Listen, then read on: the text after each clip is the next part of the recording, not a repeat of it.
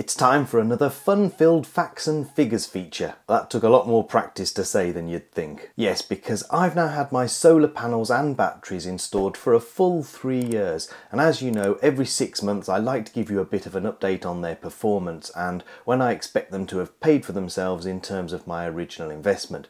So keep watching if you want to know if I'm still on track for that.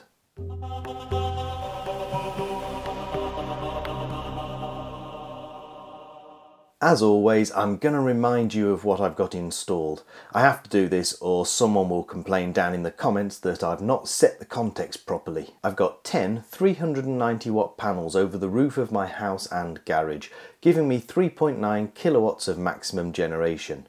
They all run back to a string inverter in the garage which is a SolarEdge SE3680H and that has an AC output of 3.6 kilowatts. Each solar panel has a power optimizer attached to it which helps maximize overall generation even when some panels start to get covered by shadows. Then I've got my GivEnergy AC3 inverter and 8.2 kilowatt hour battery sitting under that. That was all from the original installer back at the end of 2021. They also supplied a myenergi eddi which was used to heat my hot water. That has now gone because I have a heat pump but the cost of it is still included in my original investment figures which you'll see later on. And then we have my pride and joy, the GivEnergy all-in-one with 13.5 kilowatt hours of storage and a beautiful 6 kilowatt kilowatts of power output.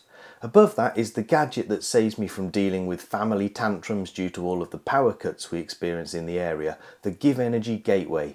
This kit was installed about 18 months after everything else. Let's start looking at some figures then, and I'm going to begin by comparing 2024's solar output to the previous year. This is taken straight from the Home Assistant Energy Dashboard. The bright orange lines are the total solar generation for the months in 2024, and that dashed black line is the forecast for each month you can see that mostly it was accurate, but April, May and June underperformed a bit. I want you to totally ignore those dark orange parts of the graph. That's actually my Ripple Energy wind farm generation and unfortunately Home Assistant doesn't have any way to show wind generation separately or let me temporarily quickly hide things from the graphs. But I do want you to look at the light orange bars because that's 2023's generation. April, May and June in 2023 were way sunnier than 2024 but what surprised me the most is that I thought we'd had a particularly rubbish summer in 2024 but July and August were actually slightly better. But overall generation was down from 3,785 kilowatt hours in 2023 to only 3,582 in 2024, which is a shame, but we need to convert that into money somehow. And to do that, I use my solar payback calculator spreadsheet. This is the same spreadsheet I've used since the beginning, so I'm not going to go into too much detail here. Pause the video if you need to take a closer look, but the quick version is that every month I input how much energy I drew from the grid at peak and off-peak rates, along with how much I paid, and how much energy my house actually consumed, or my demand which is calculated by Home Assistant. I also make a note of how much energy I exported back to the grid and then my spreadsheet does a little calculation to figure out how much this actually cost me, how much this would have cost me if I didn't have solar and batteries and the difference between the two. That difference is how much money I saved that month and therefore counted towards the return on my investment. And anyone putting in the comments about me not including lost interest on savings for comparison can jog on. We've had that conversation before. So back at the end of 2022, I used my first year of data to make this graph in order to predict when all of those savings would add up and cover my initial investment.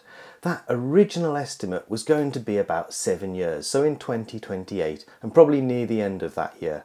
But after that, it was pure profit. I know that 18 months later, I added some more kit, and its associated costs were rolled into my original investment amount, and that actually pushed my payback time further away to 2030. This is from my payback calculator spreadsheet again, and this table shows a mixture of real data and predictions. That 2030 prediction date is actually marked here as red for reference. All of those monthly values we talked about before have been totaled up, and if we take the estimated cost of our usage, subtract the actual cost and then add on how much my batteries earned from DFS or Octopus saving sessions in that year, then we get our bill savings. Now, energy prices have dropped a bit this last year, although they are predicted to go up a little bit in 2025.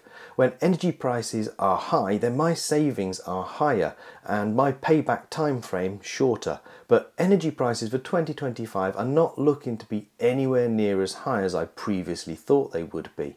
In order to make a more accurate payback prediction, I've adjusted 2025's estimated rates to be slightly higher than the Octopus Go rates are for me at the moment. And if you take a look at this table again, you'll see that I've predicted a 10% split between my peak and off-peak usage. Previously, I'd estimated this at 25%, and the reality is that last year the real value was only 6%.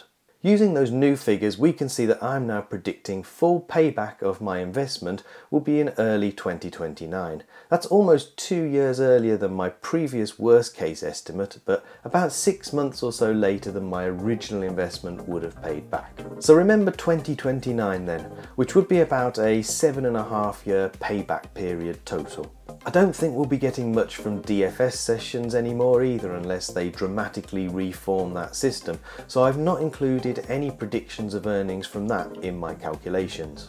Anyway, I hope that you found this useful. If you did, then please give this video a like and don't forget to subscribe to the channel to see more from me.